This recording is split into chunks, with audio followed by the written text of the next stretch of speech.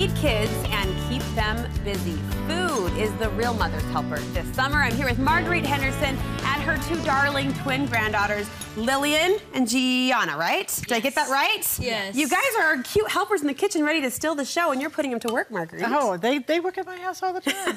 That's why they come over. They're like, what can we cook today? That's So, what they do. They get to cook in Grandma's kitchen. What do they call you? Is it Grandma? Mimi. Mimi, of Yeah, course, of course. So All right, anyway. so on the menu today, artichoke, which surprised me. I'm assuming these two cute girlies have really sophisticated palates because I don't know many kids that would appreciate artichoke. They, they, they eat everything. So if you put it in front of them, they'll eat it. So um, let's talk artichoke. So it's artichoke season, May, June, sort of. And um, you could get these whole fresh artichokes right now. I'm going to mention Trader Joe's, four for two ninety eight or something. Oh, wow. Really cheap, right? Yeah. So um, also at Trader Joe's, we have artichoke hearts if you don't want to mess with whole ones that come frozen. And they are, this is what they're using. Uh-huh. And you defrost them and you put them in paper towels. And this is what they look like, right? Okay, okay. So we're cooking fried artichokes over here. Uh-huh. Okay, and they're putting them in flour, eggs, and then seasoned breadcrumbs. Now, you when you dry them, you put them in a bag of flour if you want, or you could do them in a bowl Okay. Just to get a good just coating. to get a cone. So it's always flour, eggs, breadcrumbs, right? Okay. So when we get a few done, you guys are like we- a factory down there. oh You're yeah, just they cranking are, they them are out. like an assembly line. Yeah, they know how to do this. So they entertain, and we we had a little tea party at my house yesterday with their friends. so- oh, how fun! And they helped do the food. So you guys have the coolest Mimi around, or what? At least she feeds you really, really good every time you're over. I know, right? Yeah, I know they're three blocks away from me. So. Oh, how fun. So anyway, so then you you cook them up in a little bit of canola or vegetable oil. Okay, right? cook up quickly. Yeah, about a minute really per side. So you're just browning them because they're already cooked through, right? uh-huh. So basically, you're taking them and then flipping them over when they brown, and that's what you get. And they're they're quite um, delicious. And then we are going to dip them in a lemon herb aioli, which we made ooh. earlier. Ooh. Will you guys even spring for the lemon herb aioli? Yes, you'll eat whatever's put in front of you? Yes. Best eater award right there, number one and number two. Yay. Okay, anyway, so that that's the fried artichoke. Okay. Okay.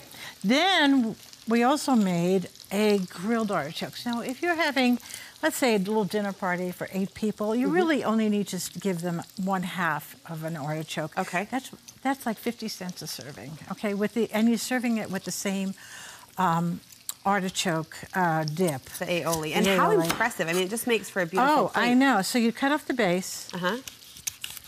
Cut off the tops. Okay. a Little tough. Yeah, a little tough. You got to have a little sharp knife. And then you take your kitchen spe- uh, shears and then you just cut off the real pointy tips because they are sharp. They are. Um, they will cut your finger and Oh. leave a nice little splinter. Right? Gianna's nodding. She's affirming what you're saying. I, Yeah. I hope you haven't experienced that. Okay. Oh, so okay. then, so then you take the artichoke after you've done that all around. You Yeah. cut it in half. Now I should have put lemon in that water because then we have acidulated water. And after you've cut all your artichokes, which, like I said, you really need a sharp knife, but Yes, yes. all right, you take the artichoke, and then what you have in there is the choke, that little purple part. Uh-huh. And you could leave that in there and take it out afterwards, or you could just, you know, Because we don't want to eat that. no, and that's all you have to do is just take it out after you pops pop right it. out. So then you have these two halves. Uh-huh. Boil them for 30 minutes. Okay. Okay. You could do them a day ahead. Uh-huh. The next day, brush them with olive oil, throw them on your grill, and you get these fabulous um, artichoke halves. Delish. Okay, so then, Now, what was the water bath for? so the water bath is while you, you're doing all the um, artichokes, Uh-huh. right? You don't want them to turn brown. Oh, gotcha. So, Okay. so you put a lemon in there, Gotcha. okay? Or a lime or an orange, Just something acid. Okay, okay. So then you show them how you. Yeah, how do we eat these, girls? the best part. This is why they're actually here. They're like, I thought you'd never ask. So you take take the um, Yeah, teach us. Yeah, and then you dip, Little dip. and then you don't devour. you don't, you don't uh, like bite. You just scrape with your teeth, like with your teeth. Little scrape. You're pulling out the meat there, right? Mm -hmm. I liked the dip and devour headline. That was a good little But it- marketing line. Devour. Copyright Lillian Collins. Too bad they have zero personality, Marguerite. They're no fun at all. I joke. They're darling. This is so fun. We've had so much fun with them in the kitchen today. And I think it's a great example. Oh, a fancy dish like artichoke, fancy, even allows you to get the kids engaged and involved in the kitchen. You do that all the time. And I put, you know, put a half of an artichoke on their plates, and it is gone. And I think kids, if you don't, if you don't uh, introduce them to foods that Yeah. might be a little foreign, Right. they're never going to try it on their own. So you have to take them to restaurants. Like we were just in D.C., we ate Ethiopian at a restaurant, and they ate with their hands, and Right. they ate food that they have never eaten before. So.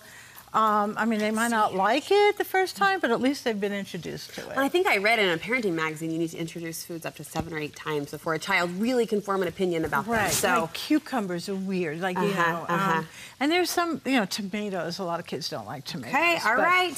Any tips about really quickly? We're out of time, but finding a good artichoke at the grocery section. Well, you know they come four to a package at Trader Joe's, so just buy that. And they make sure that the um, the globe is tight. Okay. Okay. And if it's spread out, it's an old artichoke. Okay. Okay. Make sure the globe is tight, and if you're buying them individually, and not too big, because otherwise they're too tough. This was fun. This is going to be on my menu this week, and fun to meet your girlies. Thanks, you guys, for coming. They're busy eating, as they should be. We appreciate Okay, it. We will you. post this tutorial on our website, studio5.ksl.com, if you want to check it out.